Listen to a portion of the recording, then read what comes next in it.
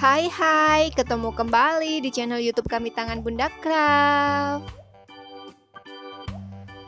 Kali ini saya akan memberikan tutorial cara mencuci barang yang berbahan flanel seperti ini. Ini kan kotor ya Bunda ya. Kita akan cuci dengan bahan-bahan sebagai berikut. Kita siapkan 2 gelas air hangat. Kita tuang ke dalam mangkok. Di sini saya menggunakan mangkok karena bahan flanel yang akan saya pakai itu kecil jadi tempat disesuaikan dengan ukuran barang yang akan kita cuci ya. Lalu tambahkan setengah sendok makan sampo atau sabun cair seperti ini. Kita larutkan ke dalam mangkok kita aduk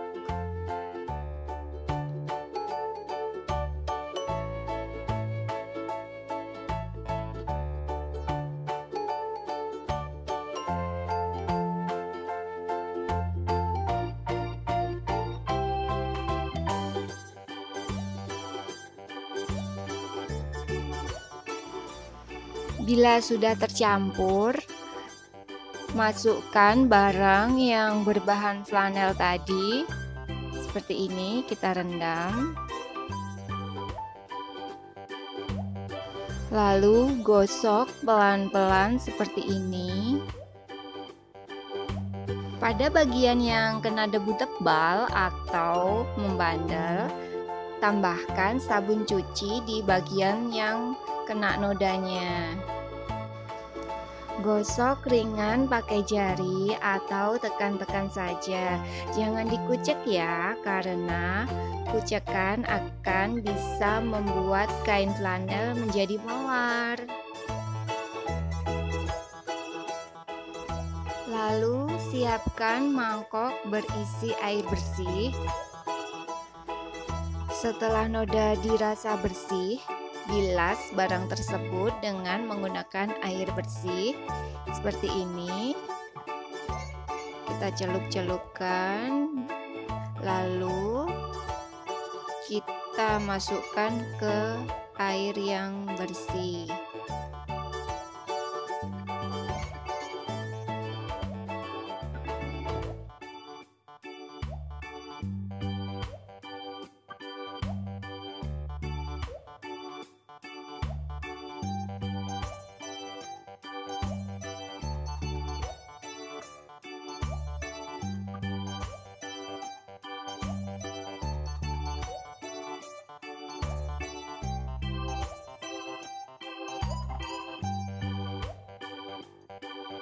Lalu angkat dan keringkan dengan cara ditekan-tekan menggunakan handuk atau kain kering.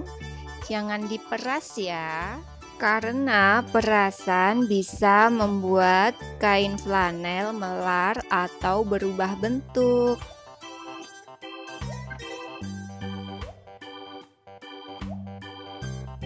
Cukup tekan-tekan lembut seperti ini ya.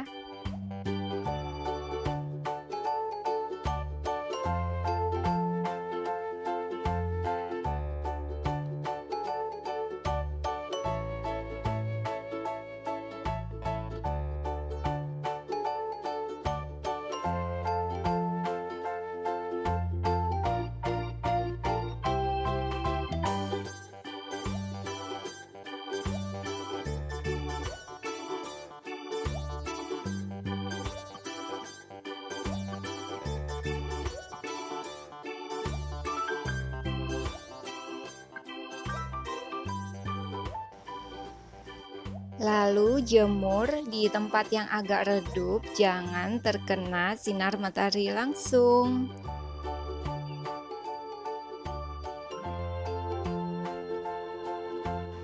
Dan bila sudah kering, hasilnya akan seperti ini, dan bisa langsung kita gunakan kembali. Selamat mencoba ya. Bila video ini bermanfaat, silakan share ke teman-teman. Dan yang belum berlangganan, silakan tekan tombol subscribe agar kami selalu bersemangat berbagi video. Terima kasih yang sudah menonton. Bye bye.